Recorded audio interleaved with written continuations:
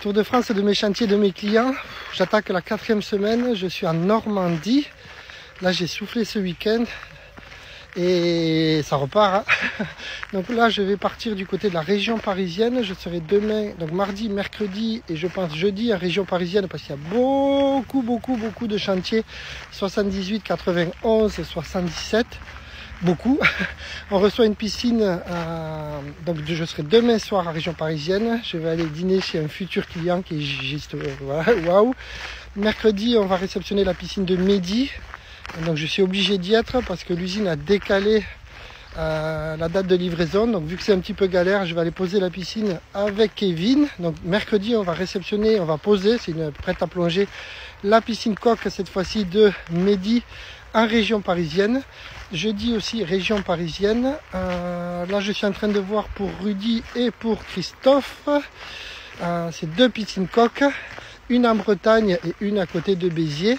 Les équipes euh, pour tout ce qui est béton, monobloc, j'ai une équipe actuellement à Juvignac, l'autre équipe qui monte chez, chez Ivo, Pompadour. Après, ils partent du côté de chez Romain à Charleville-Mézières pour une piscine de 15 par 5. Ça va être assez énorme le projet, vous allez voir, c'est un projet assez fou. J'ai une autre équipe qui doit terminer la piscine de Francisco parce qu'on n'a pas eu la météo avec nous.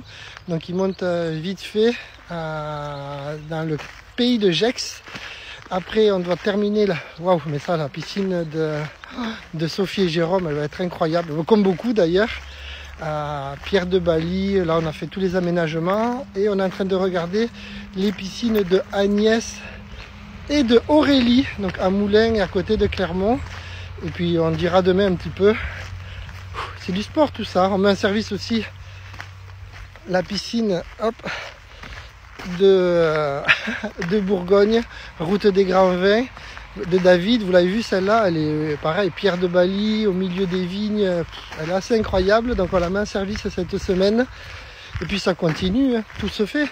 On a eu une météo un petit peu pourrie, mais on est tous solidaires hein, entre la météo et tout. Au final, tout se termine bien et c'est le plus important. Allez, bye bye.